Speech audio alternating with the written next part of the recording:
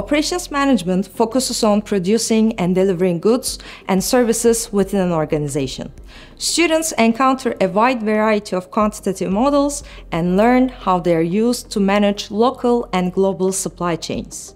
Students who successfully complete the operations management concentration are prepared to design efficient and sustainable systems to procure, develop, and deliver products and services to the clients.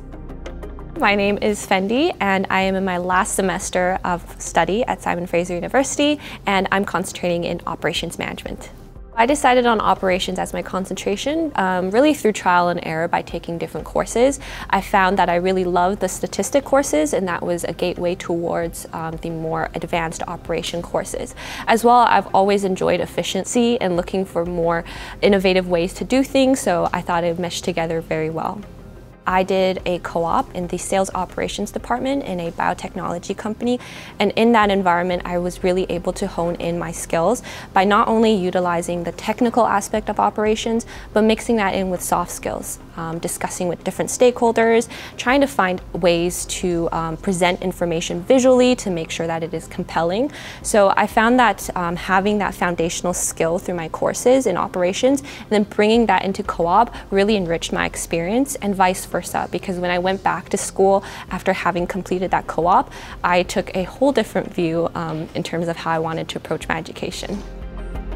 My name is Karandeep Gill. I graduated from SFU with a Bachelor of Business Administration, concentrating in operations management, and I'm currently a business analyst at Deloitte within the supply chain consulting space. When I started at SFU, I really knew that I wanted to supplement what I was learning in class with real life experience. So I found an opportunity through Beedie Community to work at a local retail goods company, Earth's Own Food Company, for a little over a year. I worked actually in their operations team there. So, you know, I had the chance to work in the field. We had all those real life examples of chip shortages, retail good production being halted, um, which affected all of our livelihoods.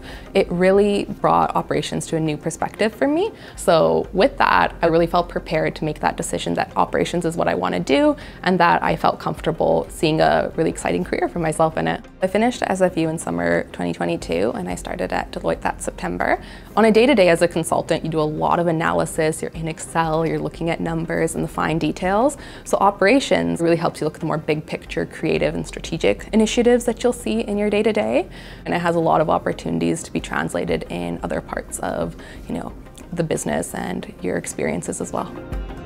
The advice I would give to students who are looking to choose their concentration is to be curious and just have as many experiences as you can.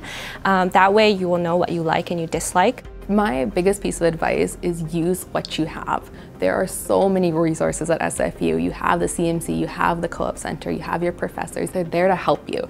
So use every resource you can. It sets you up for success when it comes to interviews. It helps you decide what you want to do with your career.